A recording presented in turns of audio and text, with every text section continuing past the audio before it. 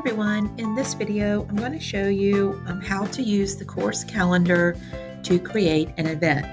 Um, now, a Canvas event is a non-graded Canvas activity and the events that you create on the calendar will not appear on the assignments page or in the gradebook, but they will show up on the syllabus page um, and on your students' calendars.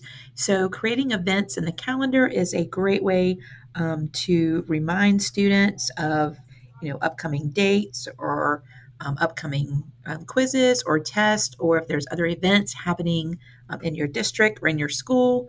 Um, a calendar event is a great way to um, set that as a reminder for your students. So, we're going to start by clicking on calendar from the global navigation. And um, from here, you can, um, I'm just going to go through some of the um, buttons here on this page. So using the arrows here, we'll arrow through um, the different months. Um, and then to start a new event, you can either just double click on the date, or you can come up to the top right hand corner and click the plus icon to create a new event. Um, now, right now, I'm viewing my calendar in a month view, but you can also change that to week view and to agenda view. I'm going to leave it in month view, and I'm going to go ahead and click the plus sign to create a new event. So,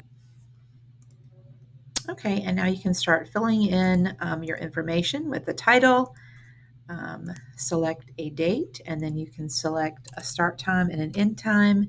Um, and you have to type this in manually and um, add the AM or PM. And then you can add a location. And then you can choose which calendar um, to add this to. If you have multiple calendars, uh, you want to make sure that you add it to the correct calendar. So for this example, I'm going to just add it to my sandbox. Um, there are more options you can click here um, to add, um, you know, more details um, in this area.